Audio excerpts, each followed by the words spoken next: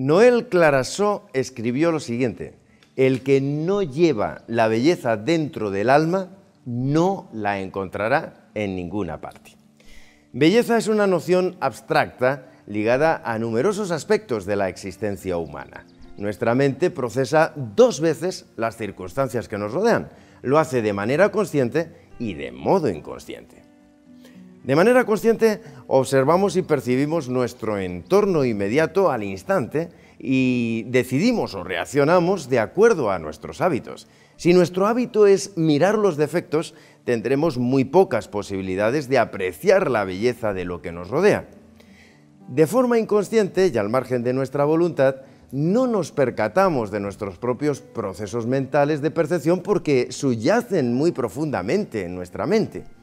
Nuestra percepción de la belleza se cimenta en años de creencias basadas en nuestros hábitos, en nuestra educación y en nuestro mimetismo con el grupo social al que pertenecemos y en el que nos desenvolvemos. Y así encontramos que lo que es bello para unos es horrible para otros. La percepción de la belleza a menudo implica la interpretación de algo que está en equilibrio y armonía con la naturaleza, que genera sentimientos de atracción y de bienestar emocional.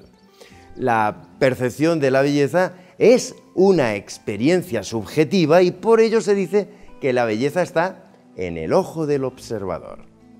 Jesús expresó que el hombre bueno, del buen tesoro de su corazón, saca lo bueno, y el hombre malo, del mal tesoro de su corazón, saca lo malo, porque de la abundancia del corazón habla la boca. El asunto de la belleza es subjetivo porque los grados de percepción consciente e inconsciente trabajan de manera integrada, aunque no necesariamente armónica, y exigen de nosotros una interpretación que nos da la respuesta de si lo que vemos es bello o no lo es.